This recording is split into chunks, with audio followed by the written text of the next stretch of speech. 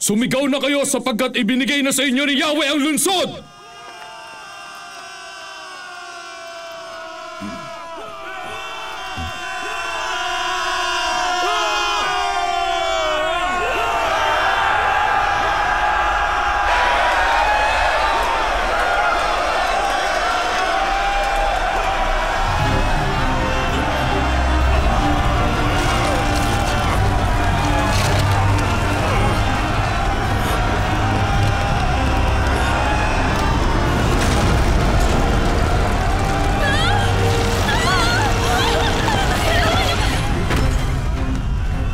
Rahab, tipunin mong yung ama at yung ina, kapatid at iba pang mga kamag-anak na kasama ninyo.